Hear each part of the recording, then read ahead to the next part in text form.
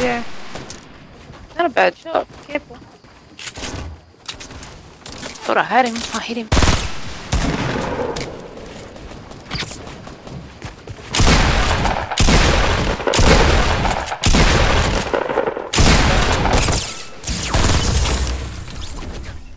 It actually wasn't a bad shot, that dude. No, he was good.